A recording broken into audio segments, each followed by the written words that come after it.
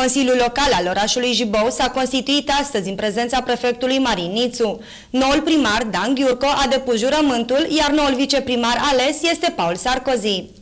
Noul Consiliu Local al orașului Jibou s-a constituit astăzi fără niciun incident major.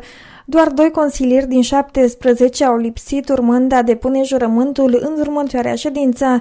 Nici în privința noului primar ales nu au fost emoții, pesedistul Dan Ghiurco fiind validat de către judecători, astfel că Dan Ghiurco a depus jurământul în fața consilierilor și a prefectului Marin Nițu.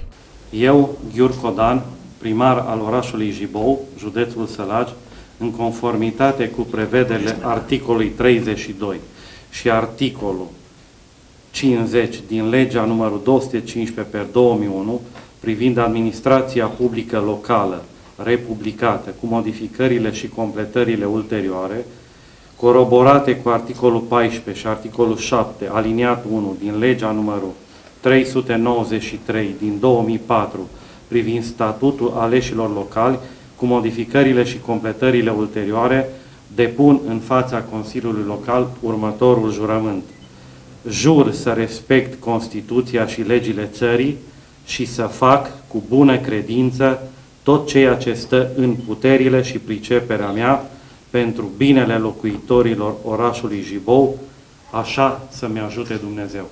La desemnarea noului viceprimar al orașului a existat unanimitate, Paul Sarkozy de la UDMR fiind singurul propus pentru această funcție. Paul Sarkozy revine în funcția de viceprimar la Jibou după o absență de patru ani.